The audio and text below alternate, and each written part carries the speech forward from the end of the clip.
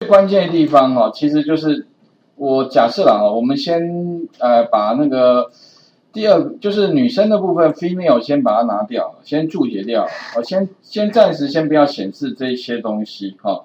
啊，如果我先把这些东西哈，把它先注解掉的话，那接下来的话，这个哈本来是折线图哈。把它改成那个就是直条图的话，就像各位在那个云端上面看到的，其实很简单，只要把什么，把这个啊 price 这个啊改成 bar 就可以了，d a r，OK，哎啊这边切一下中文，OK 好，然后这边的话呢哈，呃第二个我不要显示啊，等于是我只先显示第一个就可以了，然后这边把它注解掉，OK。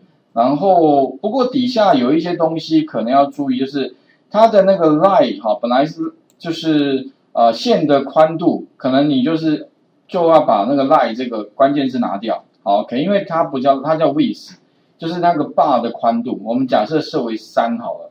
啊，另外的话呢，那个 lifestyle 其实也不用，所以把那个 lifestyle 拿掉，OK，留下 label 就可以了。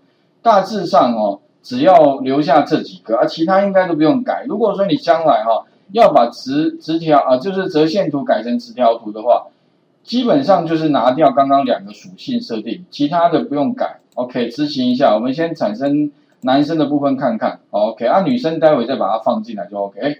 那你会发现呢，加上去之后啊，OK 了。不过有个问题，就是它的位置有没有宽度怎么样？三好像太宽了，因为如果它等于是本来大概一大概就差不多，就给三哦，你会发现变成全部都粘在一起，怎么办呢？你把 with 改成一就可以了。OK，要把它执行一下。OK，那这样的话呢，我们看到的结果，哎，这样子就比较刚好。所以将来如果你那个长条图的宽度啊，如果要设定的话，请你在位置地方设定。这样的话呢，我们就产生第一个就男生的部分了。OK，应该没有问题吧？好，所以你会发现哦，设定为长条图，哎。好像也没那么复杂，就是只是把那个啊，我们最后这个哈 plus 这个 plus 啊，把它改成 bar 就可以了。那底下的话一样，女生的话呢再加进来，所以等于是再画一个另外一个图。不过会有个问题，就是说哈，它的 x 轴里面哈有一个地方是重复的，十六十六。OK，那一十六十六的地方呢，y 轴是五十跟六十，所以哈。如果你设为宽度一样的话，那恐怕会盖掉，所以我这边改一下，H，呃，那个 bar 的颜色改成红的没问题。那宽度的话呢，我们就不要这么宽，我们大概就用那个零点八就可以了哈，零点五或零点呃零点八好，OK 哈。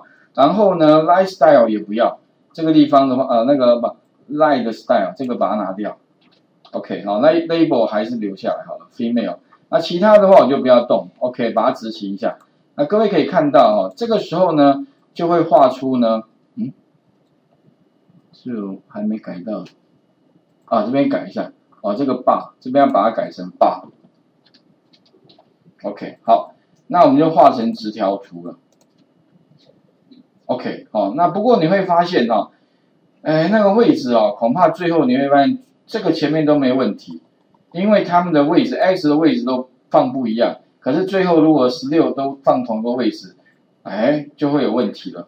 所以怎么办？要不就是你把那个 x 轴的位置哈，再向右移一下。也许你可以把这边本来是女生的部分啊，你可以把它向右移一个位置。本来十六，把它改成十七好了，让它向右移一个位置，这样看起来应该就比较没问题了。哎，有没有？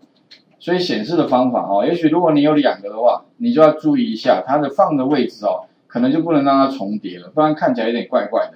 好，那这个是有关那个直条图的这个这个设定，里面主要大概就是把属性部分变更，然后最后呢把它再加一个 bar 就 OK 了。好，那待会我们再来看啊，哎，如果说不过相对的长条图主要是显示就是说那个区域里面的呃相关的那个数量多寡，那。好处比折线图还要更明显，因为高度一看就知道。折线图你还要再看一下哦，它大概到哪边还要画一条线，所以相对的长条图啊会比较简单一些些。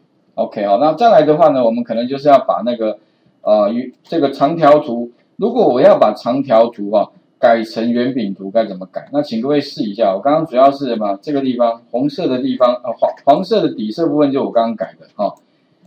然后待会的话，我们再来看圆饼图哦。OK，来画面先还给各位一下哈。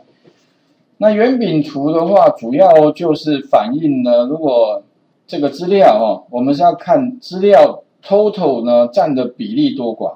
比如说全部就这么多，百分之一百，那各自可以分得的数量多少？OK，那还有就是说那个圆饼图里面哈，有一个部分就是说，如果你要强调的，通常会把它 expose，就是把它让它往外拉一块，比如说哪一块不要让它连在一起的话，好，那个 bar 圆饼图该怎么做哈？OK，那请各位先试一下那个长条图的设定。